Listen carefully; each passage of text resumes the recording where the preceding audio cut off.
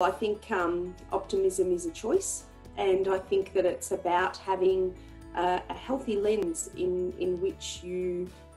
engage in situations and by by looking at, at what's ahead of you with optimism and a healthy uh, dose of, of self-belief that you can achieve uh, innovative outcomes to, to potential problems that may cross your path.